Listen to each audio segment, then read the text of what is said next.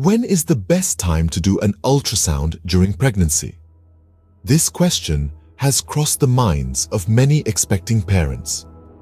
Ultrasounds play a crucial role in the journey of pregnancy, serving as a window into the unseen world of the womb. They allow healthcare professionals to monitor the baby's growth, confirm the due date, and identify any potential complications. Having an ultrasound at the right time can provide valuable insights into your baby's health and development. Now, the timing of the ultrasound really depends on what doctors are aiming to discover.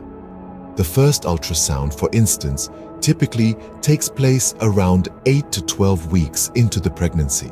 This initial ultrasound is crucial as it confirms the pregnancy and checks for the possibility of twins. Moving along, the second ultrasound usually falls between the 18th and 22nd weeks.